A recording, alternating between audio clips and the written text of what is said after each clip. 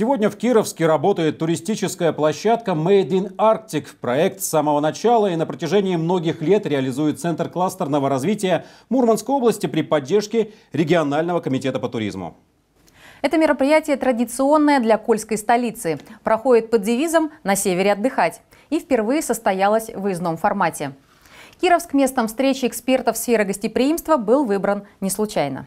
Хибины, в общем-то, являются центром Кольского полуострова, и так как 2022 год объявлен годом экологического туризма, то как, как не в горах да, провести такую секцию. И еще есть у нас несколько поводов для этого. Это открытие панорамного ресторана, запуск системы искусственного снижения, а, победа в национальной гостиничной премии Hotel Awards 2021 как лучший город для ведения гостиничного бизнеса до 100 тысяч.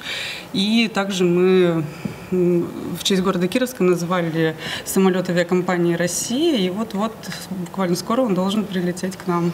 Главная цель первой выездной площадки Made in Arctic – всесторонне проработать качество турпродукта, который может предложить наш регион. И, соответственно, обозначить точки роста на ближайший год.